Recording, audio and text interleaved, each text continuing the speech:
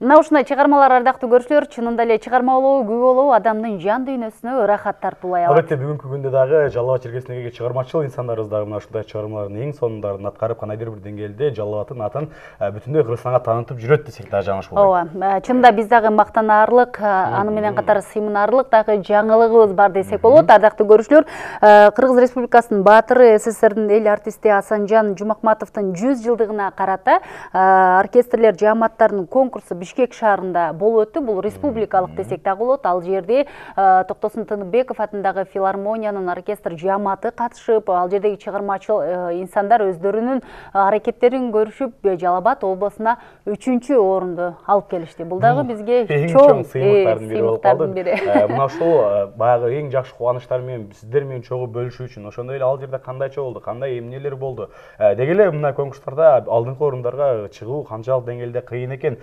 баардыгын билүү үчүн атайлуу студиябызга мына ушул токтосун тыныбеков атындагы филармониянын чыгармачыл инсандарын чакырганбыз ооба мөлмөл оркестр жааматы ошондой эле филармониянын директору эмил балтагулов келген. саламатсыздарбы кош келипсиздер кандайсыздар алгач эле алган сыйлыгыңыздар кут болсун дейли сыйлык сиздердики болсо сыймык биздики болуп олтурат ушул конкурс кандай болуп калды кандайча республикалык конкурска катышып калдыңыздар алгач ушул конкурстон сөз баштасак саламатсыздарбы. Жалпыңыздарга салам жолдоо менен биргеликте бүгүн сүйүнүчүбүздү бөлүшүп келип отурабыз. Албетте бул биздин өзүбүздүн жеке сүйүнүч эмес бул облусубуздун сүйүнүчү жалал абад облусу үчүнчү орун деп байгелүү орунга татыган кезде ушунчалык катуу толкундандык. Ордубуздан туруп кол чаап бири бирибизди кучактап кол алышкан мындай жагымдуу учурларды бизге насип кылган экен. Азыркы айтайын деген жерим асанкан жумакматовдун жүз жылдыгына арналган бул таймаш өтө кызуу болду күчтүү күч болду кыргызстандагы канча оркестр болсо ошонун баардыгы келишти. Анын арасында биз илгертен көрүп билип жүргөн тааныштар мыкты композиторлор дирижерлор мыкты музыканттар жүрдү. Бир жагы алар менен ошол шылтоо менен сынактын шылтоосу менен учурашып тажрыйба бөлүшүп алардын жаңычыл жолдор менен иштеп аткандарын көрүп жакшы жактарын алып биз жакшы жактарыбызды башкаларга көрсөтүп тажрыйба алмашуу болду анан ошол эле учурда албетте анча мынча орун талашуулар да болду. Бири бирибизди ооба башкача карап биз биз бирди алсак болот эле биз экини алсак болот эле деп баардыгы ошол үмүттө келишет экен да сөзсүз. Баардыгы алдыңкы орунду алабыз деген үмүттө келишет экен анан насип кылып биз өтө деле капа болгон жокпуз. Өтө деле мактанып аша чаап кеткен жокпуз. Кудайга шүгүр ушунусуна себеби дегенде бул республикалык конкурс былтыр биринчи жолу өткөн кызыктыруучу сыйлык менен келгенбиз ал эми быйыл байгелүү орун менен келгенибизге абдан сүйүнүп турабыз эң сонун ооба чынында эле биз дагы угаарыбыз менен аябай сүйүндүк сиздер айткандай социалдык тармактарда бүгүн баягы кайсы жаңылык болсун бат көрөсүң го. Бат көрүп эле биз да толкунданып э. Чогуу эле катышып келгендей сезимдер болду ооба негизи агай келиңиз. Айтсаңыз ошол жердеги баягы конкурстун жүрүшү кандай болду? Сиз үчүн конкурс быйылкы жылы кандай бир жаңылыктарды бере алды? Былтыркы жылга караганда былтыркы жылы өзүбүздүн даярданган боюнча чыгармалар менен күүлөр менен ырлар менен барганбыз өзүбүз мындай кандай чыгарма болсо деле күү болсо деле ошон боюнча барганбыз а быйыл башкачараак болду быйыл экинчи республикалык кароосу дагы болду бул асанкан жумакматовдун жүз жылдыгына карата болду да. Мындайча айтканда ошонун чыгармаларын негизинде даярдадык. Симфонический оркестрде кандай күүлөр жазылса ошол боюнча даярданып бардык. Анан ырларды ар ким ар кандай ырларды ырдаш даярдап барышты. Жана демек өзүнүн ошол жагынан өзгөчөлөндү ошолордун күүлөрүн аткардык. Ошол. Эркин чыгарма дагы болуптур да э ал жерде быйыл тапшырма менен даярдандык себеби мына ушул ушул күүлөрдү ар бир команда ойнош керек деген тапшырма алдын ала берилген андан сырткары ошол эки мырзанын үнү менен коштолгон чыгарма анан эки айымдын үнү менен коштолгон чыгарма деген тапшырма болгон ошондо ырларыбыз мындай эркин темада болду дагы күүлөр атайын белгиленген тартипте өттү ал эми анарбай агай сиздин дагы баягы сыйлыгыңыз кут болсун дейли. Ошол жака барып алып келген сиздин дагы салымыңыз чоң деп ойлойм ал жерде. Анан ошол жердеги жогорудагы кесиптешим айткан суроого кошулуп кетип атам да кандай сезимдер болду өзүңүздө агай анан он төрт билишимче команда катышты окшойт. Ал жерде алардын дагы баягы күчтүүлүгү бар да. Жалпы сыран он жети он жети катышты. деди. Кийин айтты да. Жок он жети оркестр бар негизи. Гала концертте катышты бирок анын үчөөсү конкурстан тышкары мындай өзүнүн эрки менен гана э сый катары ошол жердеги командалардан артыкчылыгыңыздар кандай болду эми баягы мактана турган мезгил бир аз айтып кетсеңиз өзүңдү эр ойлосоң бирөөнү шер ойло деген бар го ооба биз былтыр барганда эле көргөнбүз себеби бул конкурс деген фестивальдан айырмалуу да бул деген фестивальда баягындай орун берилбей баардыгын неме кылып андай неме кылат го а мында конкурс дегенде конкреттүү баардык конкурстун талаптарына жооп бере турган баягындай критерийлер бар да. Ошол критерийлер боюнча карайт строгий болот өткөндө эле айткан. Быйыл мындай болду бул эмдиги жылы андай болбойт. Даярдыктарды күчөтүш керек деп айтып эскертип айтылган да. Айтылгандай эле бизге ошол партитуралар жиберилди. Баардык жамааттарга бирдей партитуралар жиберилди. Ошол партитураларды ишке ашырып ойноп бул милдеттүү түрдөгү баягы обязательный программа деп ошону даярдап бардык. Андан башка дагы ырларды даярдап бардык. Ар аткаруучулар бизден төрт аткаруучу барды. Самарбек шабданов абдыкайым ашимбаев анан ыкбал кайнаева и динара тилекеева барды. Өздөрүнүн тандаган репертуарлары болду. Ошол репертуарларды биз ошо бышырып майрам күн дебей даярданып э? жанагы дем алыш күн дебей даярдандык да. Анткени биз былтыр көрүп калганбыз. Ал жерде чоң чоң коллективдер бар составы боюнча курамы боюнча да чоң.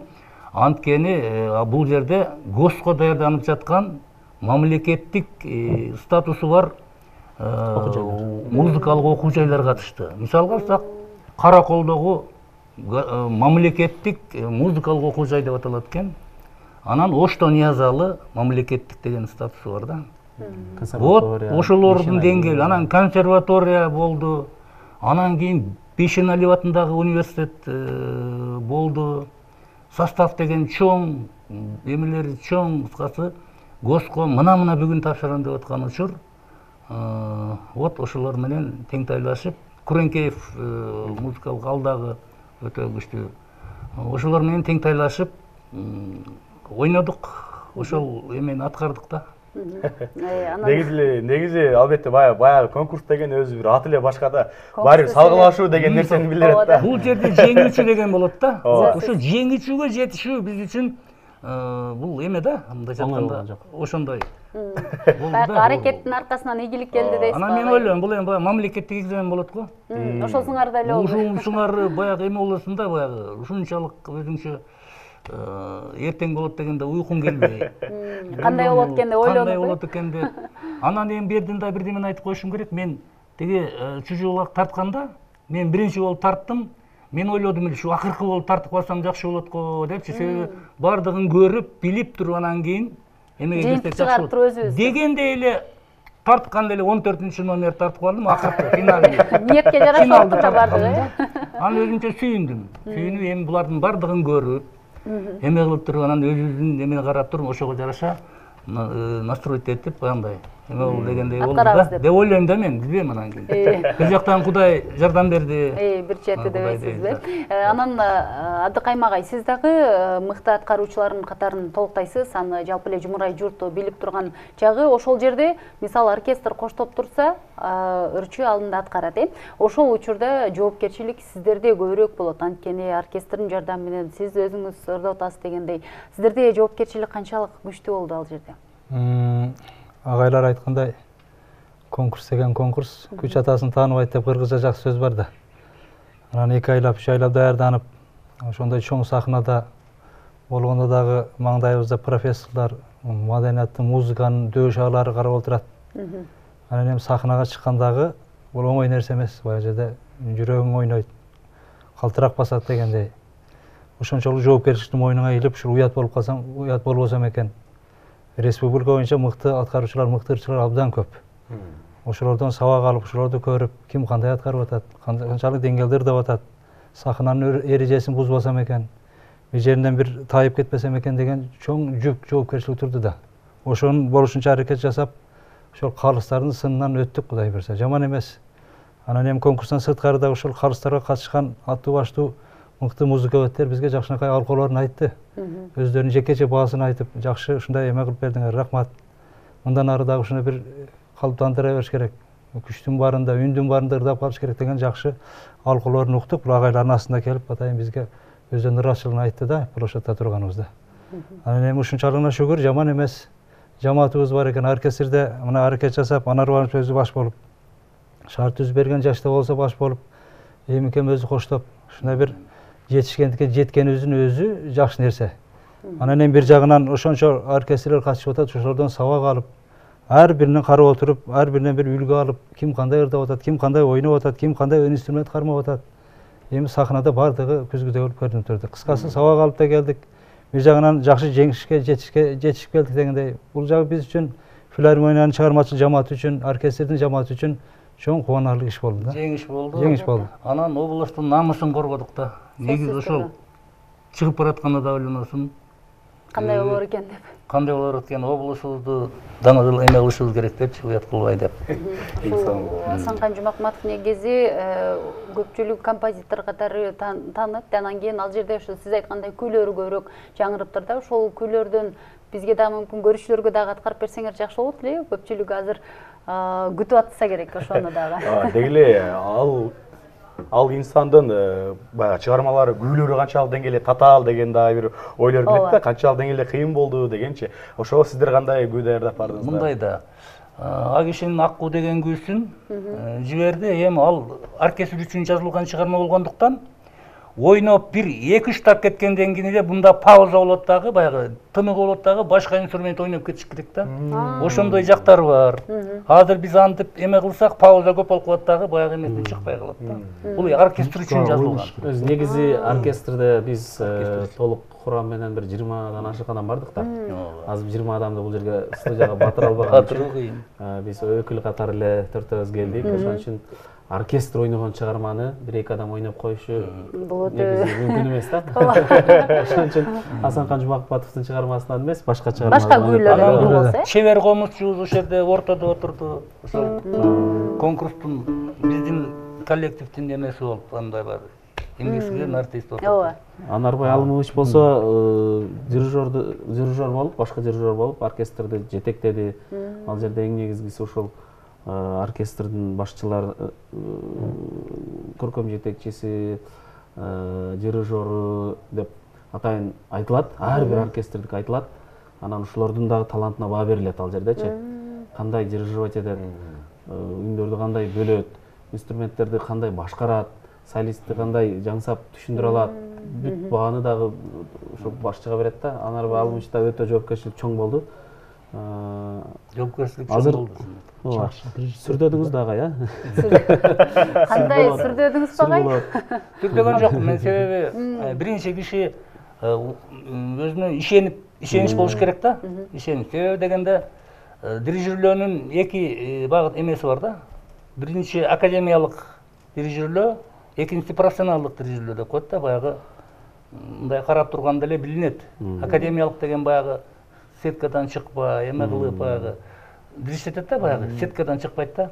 А профессионалда андай болбойт. Баягы күчтүү доляны берип туруп кээ жерлерде пауза келгенде аны көрсөтө билүү анан аны токтотуу жактары башкараак да эмерээк ошондуктан аны мен мисал кылып бакыт тилегеновди айтам да народный эл артисти вот ошонун дирижерлөөсү мага жагат анан кечээ асылбек насырдинов деген карамолдо орозов атындагы оркестрдин дирижеру мага аябай жакты мисалга аябай жакты чындыгында ал калыстагы болду калыстар тобунда отурду калыстар тобунда отурду кийин ошо гала концертте өзү чыгып ошондо өзүнүн немесин көрсөттү да мастер класс деп айтсам болот. жалал абадтыктардын баягы эр жүрөк анан кийин көңүлүбүз ачык келебиз да. Агай мына тескерисинче баягы конкурс деп жаман көрбөстөн аларды мактап атканыңыз дагы. Ошону айтам. Көңүлүңүз ачык экени байкалып турат да. мастер класс болду да эми баягы. Үйрөнүп конкурс эмне? Баягы региондордогу оркестрлерди жандандыруу алардын деңгээлин жогорулатуу болот да эми максат.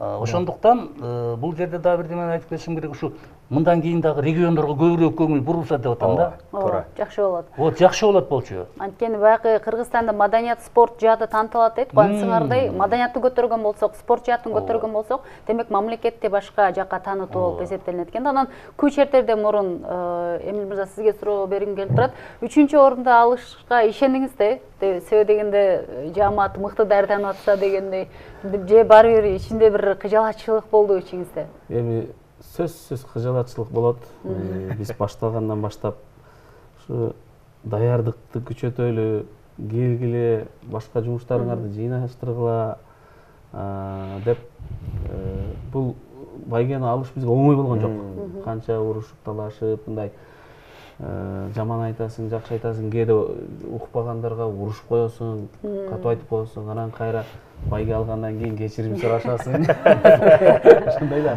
Жетекчинин иши оңой эмес экен да ар биринин көңүлү бар. билинбей жүрүп аябай катуу чарчап калган экенбиз келгенде ушундай катуу жыгылдык эки үч күн уктабай турдук уктап кеттик түнү менен түнү күнү машинада өзүм да рульда жүрдүм. Аман эсен алып барып келели баардыгын жоопкерчиликти менде болду анан кудай кудай деп кудайга жалбырап ошо эсен соо барып келсек кырсыктан алыс болуп жол алыс бийик бийик белдер бар. Анан үчүнчү орун деп бир оозума салды. Өзүмчө бир сөйлөгөнүм эсимде ушу кудай буйруп жок дегенде үчүнчү орунду алып кетсек экен деген сөзүмдү эстедим да. Ай бир деп койбопсуз ошондо анан кийин дагы бир ошол өзүнчө дем болду дейм да мен мындай караганда баягы биз сахнага чыгаарда эмил ашырбекович айтты мен өзүм алып барып айтып турам эмени баягы биздин катар номерлер жазылган да тиги бир ырдан кийин кайсы күйдөн кийин алып баруучу болуп турам дедим да айтып турам деди микрофон менен айтып турду ошол дагы дем болду бир дем болду да дем болду өзүбүздүкү айтып бизден атат башка эч ким айтпады да демек биз ошондой эме кылышыбыз керек жапатырмак калыстар тобунун жанына барып отуруп алып отуруп алып айт ал азыр могу могу могу чыгарманы могу могу аткарып берет ошол да дем болду да ошол да дем болду дем болду да баягы жетекчимде отуруп алсам эмне кылат элеңиздер э агай? Жапатырмак бул алып келген жеңишиңиздер экен да. Молодец жакшы жетекчибиз жакшы иш кылды да аябай сонун иш алып барды албетте анда келиңиздер сиздерден бир күү болсун агай. эми анан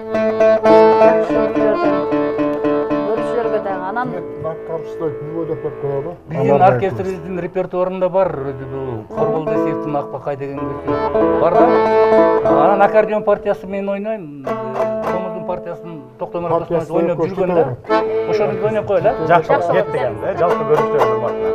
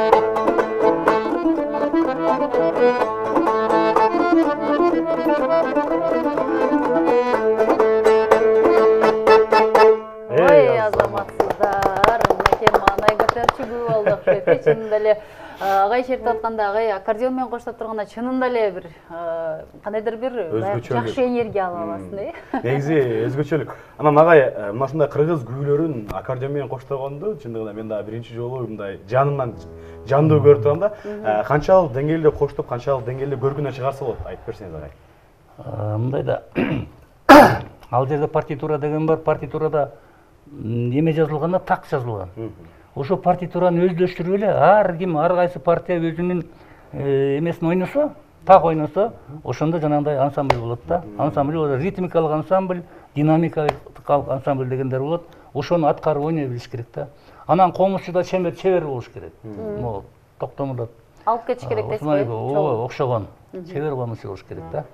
Мен ойлойм бул кишилер эми билген бул кишилер менен ойносо болот комуздан талаша албайм дейсиз го ал эми абдыкайым агай ошол жерде жогоруда анарбай агай айтып атат да мен баягы дирижерлорго баа бердим деген сыяктуу өзүнө жакшы мастер класс өзү айткандай агай ала алдым депчи. Сиз ал жерден өзүңүзгө эмне ала алдыңыз мисалы?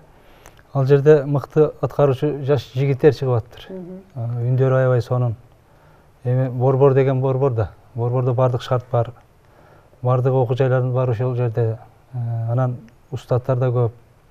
Каалаган устатына барып жакшынакай сабагын алып үн боюнча тарбияларды алып ошондой бир жаштар келаткан экен жакшы ырчылар чыгып атыптыр ага чейинки орто муундагы ырчылар кыскасы кыргыз элинде ушул өнөр жаатындагы келечек муундардан жакшы бир тарбия кылып келаткан муундар чыгып келатканына абдан кубанычта болдук да көрүп. Анан алардын келечегин берсин эми ошол ар бир облустта ар бир региондо өзүнө жараша ошол элдин аймагына жараша таланттар бар да анан эми биздин өрөөндө дагы кудай буюрса талант мыкты таланттарыбыз бар мыкты устаттарыбыз бар ушундай устаттарды ээрчип сабагын алып жүргөнүбүзгө сыймыктанабыз кудай таалам ушу кыргыз элине өнөр жаатында кызмат кылганга насип кылган экен кызмат кыла беребиз кудай өмүр берсе канчалык өмүр берсе жетекчилик тараптан колдоо болгон болсо жамаатыбызда жакшылык болуп жалпы элге кызмат кылгандан артык жакшылык жок да кудай буюрса аманчылык болсун эң башкысы тынчтык болсо ооба тынчтык болсо жергебизде боло берет буюрса айтканыңыздар келсин ооба анан эмил мырза сиз дагы жөнөкөй адамдар менен иштешпейт экенсиз себеби дегенде бул жерде эмгек сиңирген артисттер отурат жалаң маданияты мыкты кызматкерлер менен иштешесиз дегендей.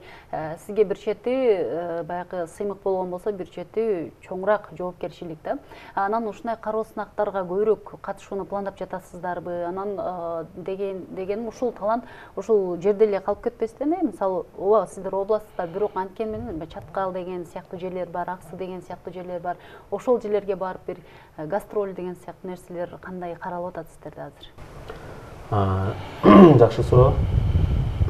Биз азыр дагы бир сунуш берсекпи деген ой да келди уюштуруучуларга себеби жана эле агайларыбыз айтып кеткендей кээ бир учурларда борбор калаадагы профессионалдар менен региондордогу райондордо айылдардагы таланттарды салыштырууга мүмкүн эмес да.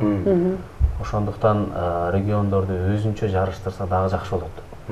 Дагы мындай болбосо борбор калаадагылар көбүнчө биринчи орунду бербей жүрө берет. Жана айтып кеткендей аларда сан дагы аябай көп. Музыкалык аспаптардын дагы түрү абдан көп. Базасын чыңдап алган окуу жайлар көп да. Ооба. Анан биз канча аракет кылганы менен кээде аларга калышыбыз мүмкүн да. Ошон үчүн региондорду өзүнчө жарыштырса дагы жакшы болот да.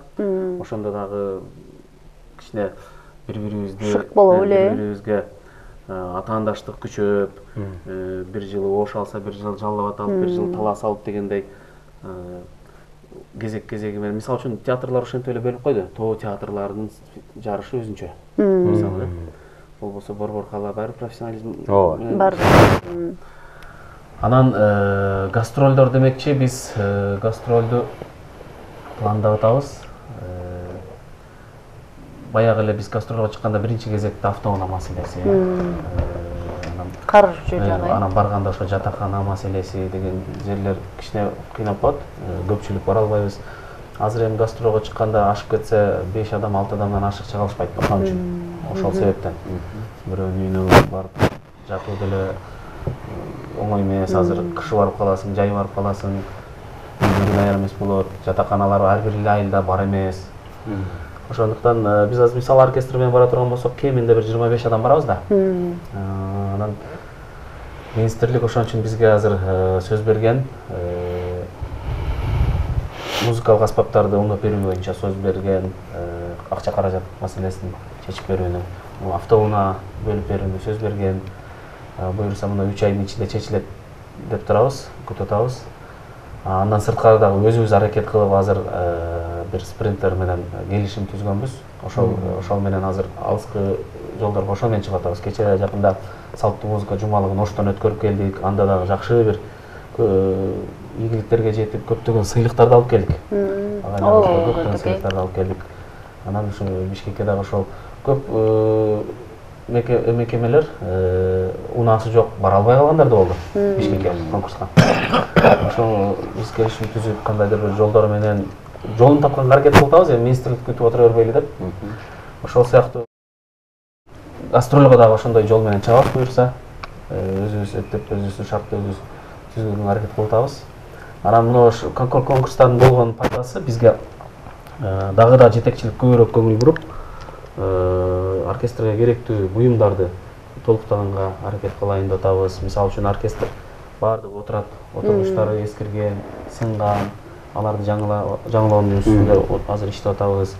Кийимдерди жаңылоонун үстүндө иштеп пландап келдик көрдүк да көрө көрө көсөм болосуң дегендей демек моундай түстөгү кийимдер жарашат экен ачат экен деп анан албетте эң негизгиси аспаптар музыкалык аспаптар анан кадр кадр жетишсиз жаштар келбейт шаардан шаарга жеңил жашоого үйрөнүп алышкан чакырсаң айлык аз дейт же болбосо жатакана таап бергиле дейт ошентип колдон келишинче асастан аракет кылып эме көбөйтүп алсак кадрларды көбөйтүп алсак анан жалпыңыздарга дагы бир суроо болсун да мына ушул төмөндө айтылган конкурс быйыл экинчи жолу уюштурулуп атат да анан менде бир ой келип атат жер жерлерге бөлүп уюштурса кандай болот эле мисалы сиздердин жекече пикириңиздер мисалы бир жыл жалал десе бир жыл ош көчмө аркылуу э туура туура кандай болот эле? Балким ошонун негизинде бул жактагы база дагы чыңдала беле ар бир жердеги көрүүчүлөр көбөйө беле деген дагы бир ой пикир да. Мисалы алып барып эле шаарга тыгып беребиз алып барып эле шаарга келтире беребиз анан кандайдыр бир деңгээлде бир гана алар алдыга чыгып биз артта калып калып кетип аткандай сезим калат да. Бара бара ошондой болушу да мүмкүн. Себеби салттуу музыка жумалыгы ошентип эле баштады. Бир жыл баткенде өттү таласта өттү таласта өттү анан ошто өттү эми келип келип жалал абадта өтөт анан көлгө кетебиз ушинтип айланып атат.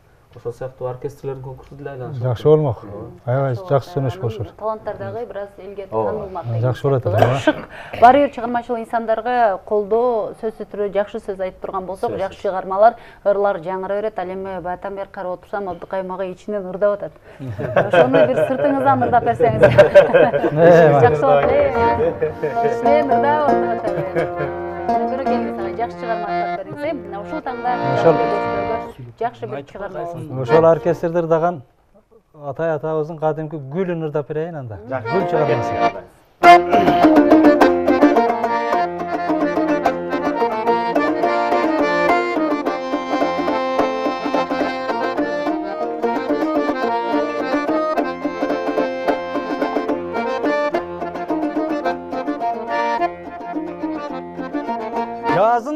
жазында ғана да шыққан гүл қайыр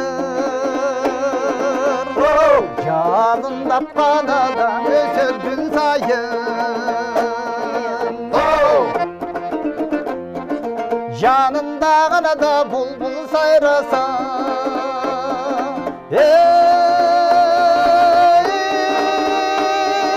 ей қойшы жарашат бүтін сайын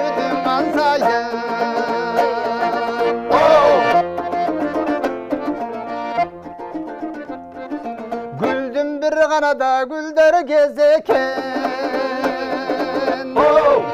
Güldürdüm Adana'da bal gazeken oh. Yazlı bir kanada güldür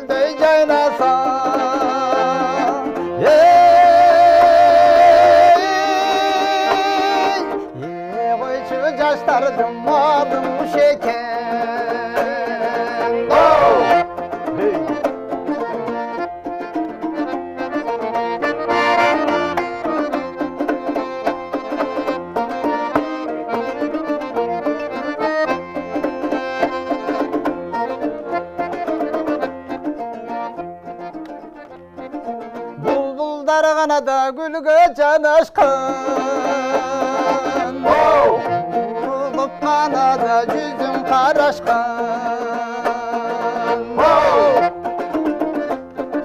бұлбұлдар ғанада гүлге бір тамшы. Ей ей қойшы бұл тұрмыш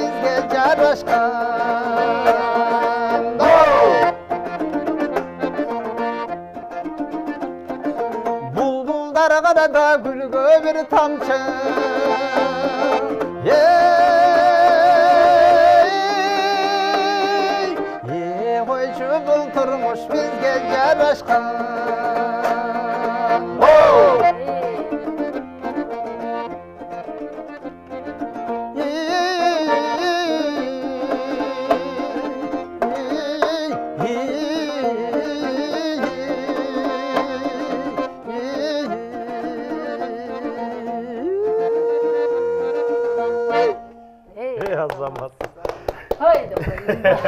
негизи абдыкайым ага айтсаңыз мына ушундай чыгармалар балким кандайдыр бир деңгээлде унутта калып кетип атат да азыр мынакей сиз ырдаганыңыздан көпчүлүк инсандар кайра башынан бир уккандай болуп аткандыр да. Ал эми чындыгында эле көпчүлүк учурда мына ушул ырлар кайра мисалы радиолордон дагы азыраак жаңырып калды дегендей.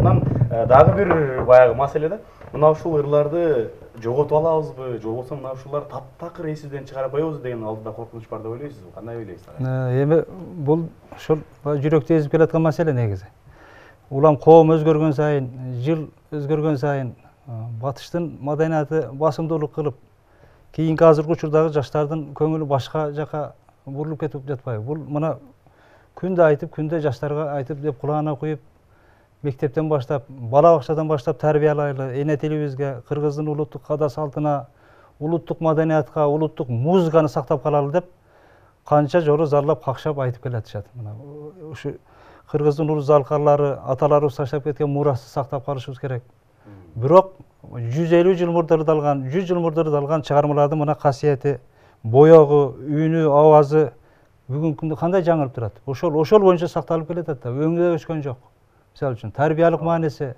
музыкасы эч бир кыйшайсыз келатат да анан эми ошондой улуу аталарыбыз таштап кеткен мурасты сактап кала албасак анда биз кыргызбыз эмне кыргыздын ак калпагын сактай албасак кыргыздын комузун азектей албасак келечек муундарыбыз басынтып тааный албай жатса тилекке каршы баягы жакшы азыркы мезгилде жаштарыбыз жакшы тааныбай калды. Кыргыздын ошол эзелки чыгармаларын улуттук каада салтын билбей баратат унутуп баратат.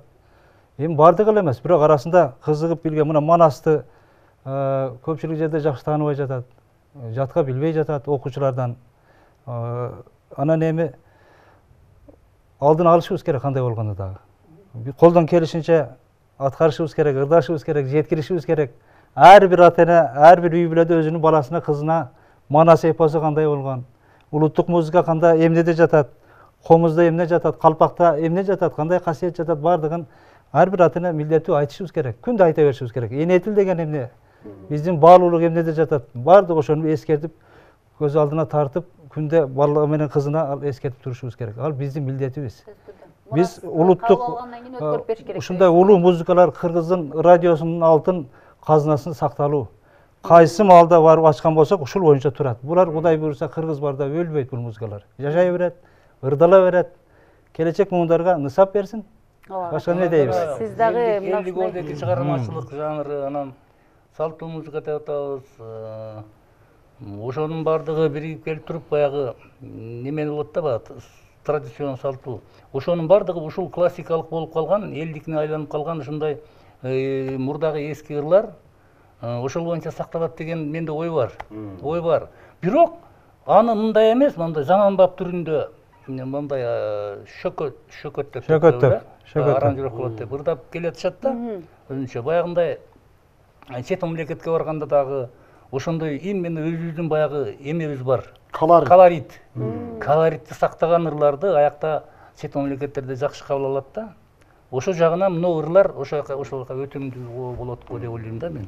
Кийин барып барып заманбап немеде иштеп чыгып чөкөттөлүп а бирок момундай эмеде ырдала берет буюрса баягы жакшы чыгармалар жаңырып турса демек мамлекетте тынчтык белгиси болуп эсептелинет экен да ооба филармонияны көрүп атабыз өнүгүүлөр социалдык тармактарыңыздар бүгүнкү күндө сонун иштеп жатат андан сырткары концерттер баардыгы жандуу өтүп жатканы бул дагы сиздин иштеп жатканыңыздын белгиси болот бирок өзүңүздүн чыгармачылыгыңыз кандай болуп жатат? Себеби бул суроону мурунку эфирде дагы берген болчу мен бунусу да аябай кызык болуп жатат да. Өзүңүздүн өзүңүздүн чыгармачылыгыңыз калып кетип кетпей табы деген дагы бир суроо жаралат эми өзүмдүн чыгармачылыгымды мурда айтчу элем параллелдүү алып кетем депчи. Бирок биз каалайбызбы каалабайбызбы өзүңдүн жеке кызыкчылыгың артта калып калат экен команда болуп калат ооба ушул команданын ийгилиги ушу команданын жетишкендиги менин жетишкендигим деп калат экенсиң дагы болгон убактыңды болгон билимиңди болгон тажрыйбаңды ушул филармонияга жумшаганга аракет кылып эле ушу күлгүнө айтып калат да сиз ыр жазбай койдуңуз студияларга барбай койдуңуз обон чыгарбай койдуңуз клип тартпай калдык кайтпайсызбы дей берет да чыгармачы өзүбүз эле бололу деп анан кээде айтып калат да бекер эле жетекчи болуп турсуңуз ырдап жүргөнүңүз жакшы экен депчи анан мен айтам эми бул деле пешене биз өзүбүз каалап каалап мындай болайын андай болоюн дебейбиз ал жараткан алла тааланын пешенебизге эмне жазылган болсо ошол менен кетебиз анан бир жагы айтып атам го бир жагы жалпы бул жерде жамаат деген сөз бар да. Бир адамдын мисалы сообу башка жамааттын сообу башка деп коет ошол сыяктуу бир адамдын ийгилиги башка жамааттын ийгилиги башка. Эртеңки күндө балким өзүм жетпеген ийгиликтер мына ушул жамааттын ийгилиги аркылуу ушул бизге бир жакшы эле сөздөр айтылып калса эмил балтабулов иштеп аткан учурда ушундай жакшы ийгиликтер болгон экен деп койсо ошол өзү канча бакыт да биз үчүн ошон үчүн ушу жамааттык ийгиликке жетишсе экен дейбиз да. Эми сиз дагы ырларды жаратыңыз дейли биз. Биз дагы күтүп калат экенбиз угармандарыңыз деген сыяктуучу агай сиз карап турган болсок комуз чертпеген учурда аябай бир капалуу болуп калат экенсиз да. Комуз черткенде аябай жайдары болуп чыгат экенсиз э? Бийлеп күлүп дегенде. Комуздун сыйкыры барбы? Эми айта берсе сөз көп. Мындай да иш кылганда дагы адам дагы жакшы мындай тез тез кыймылдап мындай иш кылат да мисалы үчүн. Ал эми ырдаганда дагы комузго ойногондо дагы эмне образ менен аткарса жүрөгү менен ошондой кылып аткарса анан кийин ошол ыр болобу күл ошо элге жеткириш керек да. А жөнөкөй отурганда тынч отурасың ушундай эми мындай. мындайча айтканда мына эмил келгенден бери ыраазы болуп атабыз да. Жаңы жетекчибиз келип эле мындай жандуу ырдагыла деп ушу келгенден бери жакшы иштерди аткарып атабыз ушуну айткан жетекчибиз айткан боюнча жанагыдай фонограмманы жойду андан кийин сонун жана көркөм жетекчи келди курманбек деген. Махамаджанович ошону алып келди аябай сонун кадрды алып келди да сүйүнүп отурам мен ушундай кадрлар бизге өтө керек болуп аткан да.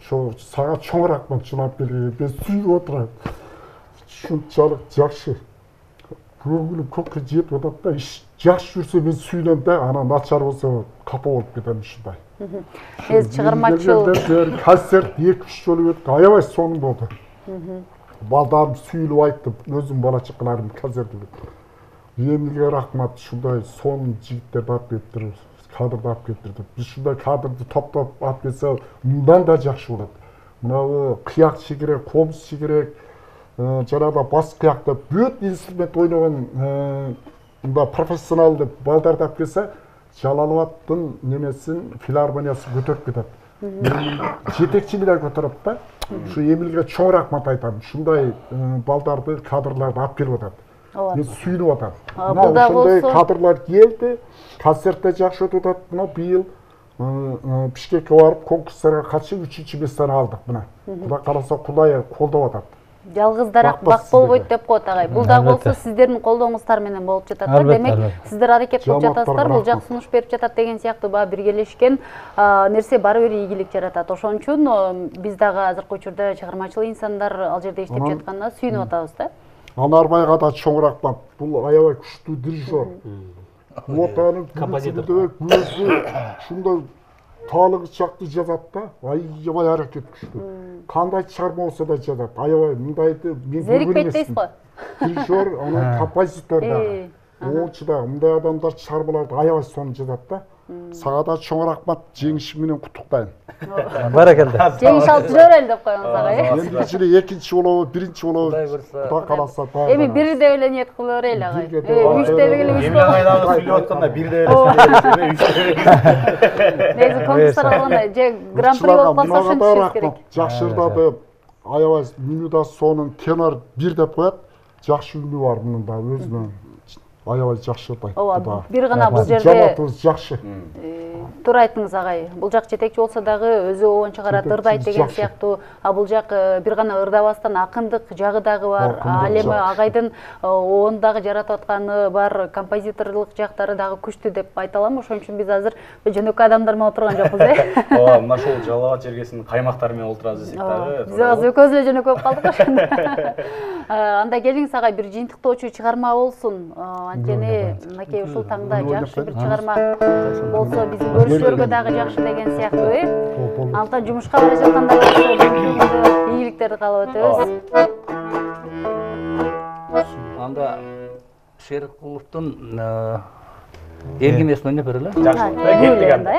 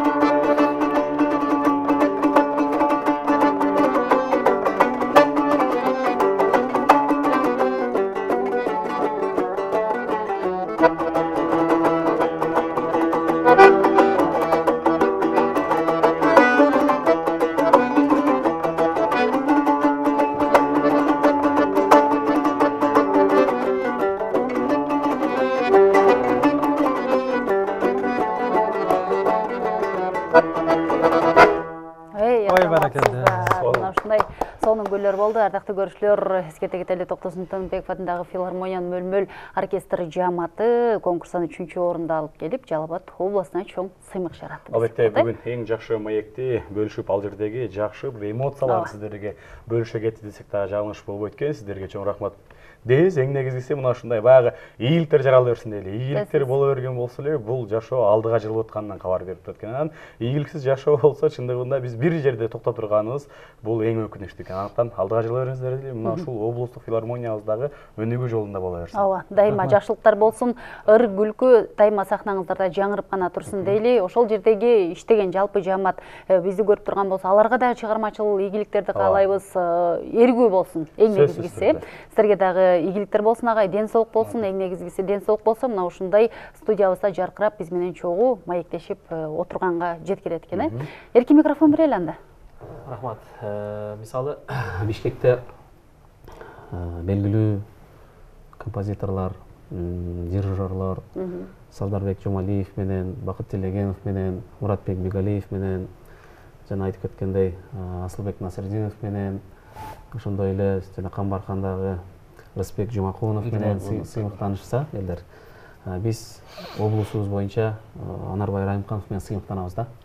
Мыкты обондору бар. Өзү нота жазат композитор дирижер номер один десек болот биринчи орунда облус боюнча.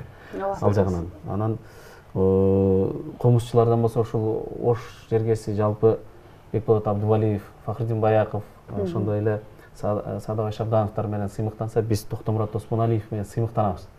Жалпы облус эң күчтүү комузчулардын эң биринчиси ушу биздин филармонияда иштейт деп мактанабыз да. Ошондой эле мына абдыкайым ашымбаев агабыз дагы элдик ырларды фольклор жаатындагы ырларды аткарууда алдыга эч кимди чыгарбайт. Биздин эң мыктылар келди. Бизге окшогон директорлорго көп. Мындай адамдар табылбайт да. Мындай адамдар табылбайт анан сөзсүз эле көз өткөндөн кийин мактап көз өткөндөн кийин даңктап калбай ушундай мезгилде баалашыбыз керек да сөзсүз түрдө алла ыраазы болсун пикирлерди айтып кеттиңиз эмил мырза айткан сөзгө биз да толук түрдө кошулабыз эң негизгиси агай мына ушул талантыңыздарды биз дагы алып калалы деген эң жакшы ниеттерибиз бар. Ийгиликтер болсун ден соолугуңуздар жакшы болсун мындай ийгиликтин буйруса биринчисин алып маектешели ооба өрүбүздүн көркү элибиздин сыймыгы болуп жүрөбүз рахмат. Ийгиликтер болсун жакшылыктарда жүз көрүшөлү ал эми ардактуу көрүүчүлөр биз мына ушундай жакшы чыгармалардын үстүндө иштеп жаткан инсандарга бир гана ийгилик каалоо менен сиздерге жакшы чыгарма тартуулап өтөбүз